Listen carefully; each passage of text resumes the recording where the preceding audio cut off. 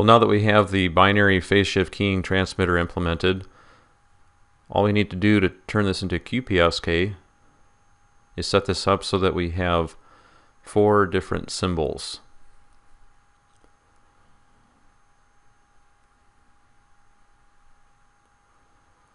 So QPSK is an abbreviation for quaternary phase shift keying. Four different symbols.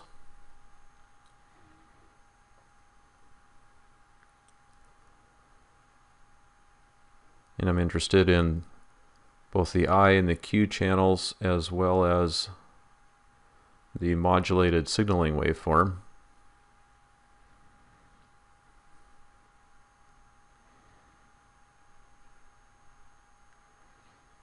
Also note here that the generate system parameter sub VI produces the bits per symbol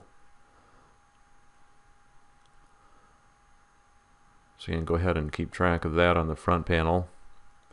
Now, in order to understand QPSK just a little better, we can make use of the constellation diagram. And this is something that's best placed when you are on the front panel.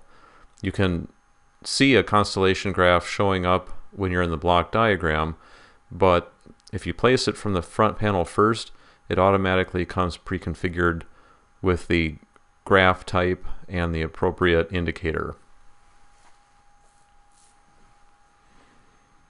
Constellation graph needs to know about the number of um, samples per symbol.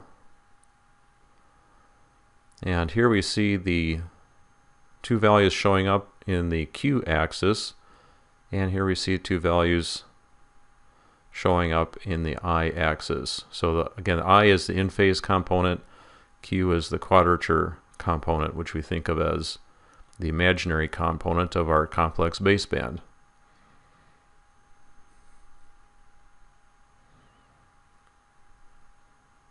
See much more interesting looking graph when we have uh, pulse shaping going on. And to get a little better understanding of this graph, let's see, this issue has to do with that when you have pulse shaping going, you need to have a, a reasonable number of bits first before these will work properly.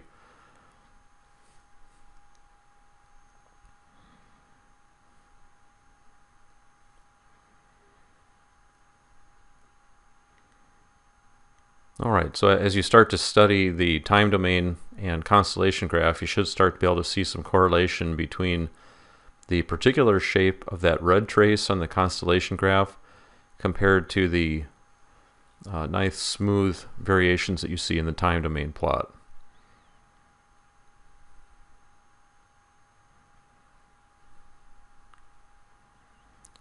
So if you carefully look here, you can start to see some correlation between between those two.